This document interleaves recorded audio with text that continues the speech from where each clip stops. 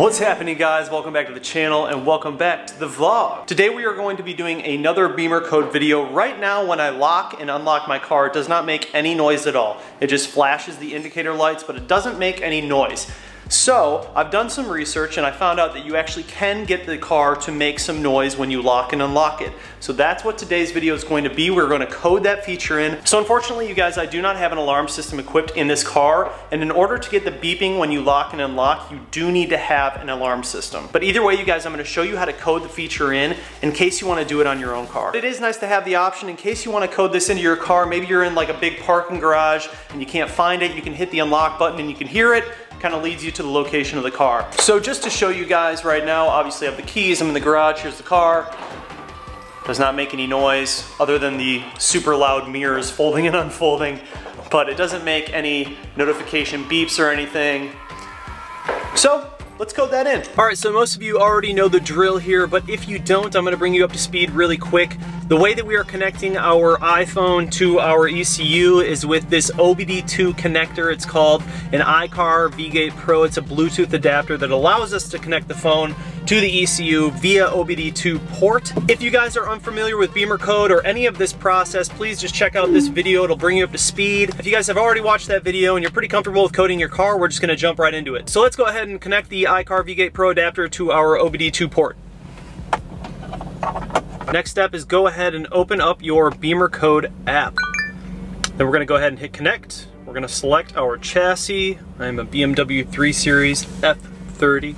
We'll let that load up. So there's gonna be a couple of things we need to do here, um, a couple of ways I'm gonna show you this. Unfortunately, I cannot display the actual sounds for you because it turns out my car does not have an alarm system equipped. You must have an alarm system equipped in your car in order to use this function. So while I do not have an alarm system in the car and I cannot give you examples of the actual sounds, I can still actually show you how to code it in. You guys will just have to try it out for yourself, see if it works. It works, obviously that means you have the alarm system. If it doesn't, it means you do not. All right, so there are a few steps in order to do this. The first one, we're gonna go ahead and hop into head unit. And right at the top, you guys you're gonna see checkbox acoustical lock confirmation. You're gonna click on that, make sure it is active.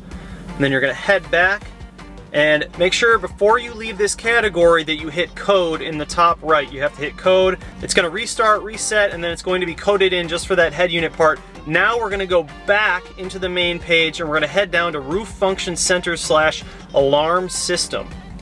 Let this one load up. All right, so here you're gonna see a few different options. Uh, on the top, you're gonna see acoustical lock, unlock confirmation. We're gonna go on that, make sure it's active. And then the sound volume, you can change it to however loud you want it. Right now I have it on high. It doesn't really matter because I can't do it anyways. But um, you can change the volume of it. If it's not loud enough for you, maybe go high.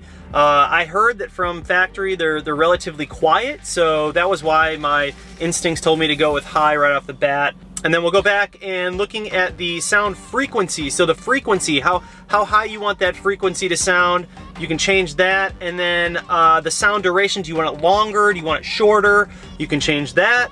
And then lastly, this is pretty cool. You can change the alarm sound from Europe Great Britain, and USA. I'll try to find some sound clips online of these different sounds and I'll put them in this video if I do find them. So once you guys have decided everything that you want, you're gonna stay in this category and again, hit code in the top right. It's gonna be two different coding processes. Let it reset, let it do its thing. And then once you're done with that, you can hop back out of here and you're done with this part of it. You can go ahead and disconnect. We finished that part of the coding tutorial. And now you guys wanna make sure that you have everything selected correctly in your iDrive. You're gonna go into settings, you're gonna go into door locks, and then down here at the bottom, you're gonna see acoustical SIG, lock and unlock. You're gonna wanna make sure that that is in fact selected. And then from there, you guys should be all set. All right, you guys, hopefully you enjoyed today's video. It's kind of a bummer that I can't code this feature into my car, but Honestly, it's a 2013 and there's a lot of things that I can't code into this car that you guys might be able to, but at least I can still show you how to code them if you do have the capabilities of coding these features in. For me personally, it's not the end of the world. I guess beeping when you're locking and unlocking isn't something that I really worry about. Would be a cool feature to have, but if I had an alarm system, I'd be able to do it. Anyways, guys, if you're interested in supporting me, the channel, or any of these videos, go ahead and check my merch line at www.thicf30.com. I just dropped a bunch of different hats. We have hoodies, long sleeves, decals. We even have a section where you can create your own customized Instagram decal. As you can see, here are all of my decals, and I made all of these, so Really, I can do any customized decals if you are interested. Go ahead and check that out. If you guys want any of that stuff, make sure you pick it up in the web store. I really appreciate the support. But even if you don't want to buy anything, just watch the videos, man. I keep making these videos as often as possible and I just appreciate you guys coming to the channel, subscribing, commenting down below, liking the videos. But thank you so much, you guys, for the support. I appreciate it so much. If you're new here, please do consider subscribing. My name is John, and I make all F30 BMW content. But effectively, you guys, that'll end today's video. Please do like this video, comment down below, and hit that bell notification. And I'll see you in the next one. Peace.